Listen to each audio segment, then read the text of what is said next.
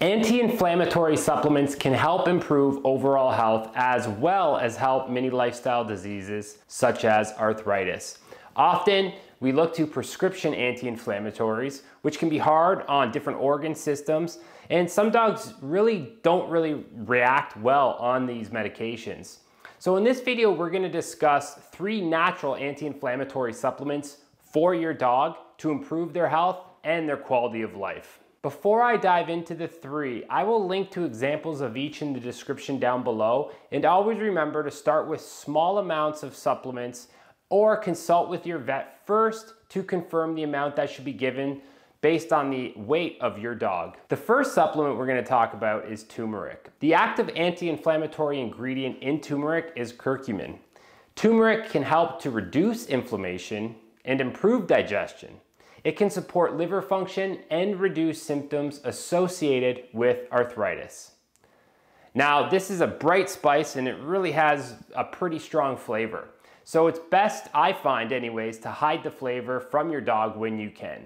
The way that we do this in our household is by using something that we call golden paste, or at least our version of it. You can look this up online, but basically what it is, is coconut oil as the base and then other ingredients of your choosing to mix in there as well.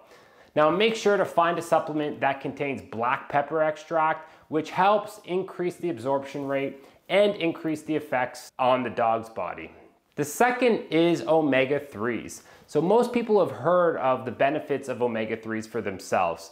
Uh, but taking omega-3s really helps to balance the ratio between omega-6s and omega-3s. Now, most dog food ingredient will increase the level of omega-6s in the body, which will increase the ratio between 6 and 3.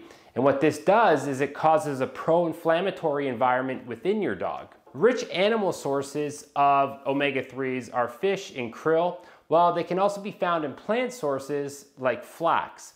Now it's important to distinguish one difference that is really important to understand, and that is that plant sources of omega-3s, ALA, will have to be converted in your dog's body to the animal forms, DHA and EPA. As a result of the conversion, your dog will not receive the same amount that they ingest.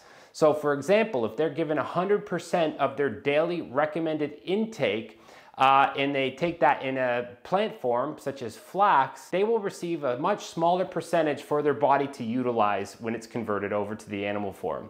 For this reason, I find it's best to give your dog animal sources of omega-3s.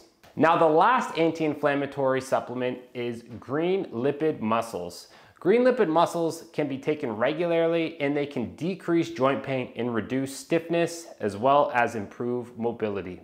As a result, they are best suited for dogs with arthritis and other joint related issues. I hope that helps. And if you're unsure whether to give your dog an anti-inflammatory supplement or a specific joint supplement, check out the video I did up here on joint supplements specifically to figure out more on this topic. Hey there, thanks for watching the video. If you like that video, you might also like the one down here. And if you really wanna show your support to us, We'd really appreciate it if you subscribe to the channel over here. It means a lot to us. Take care.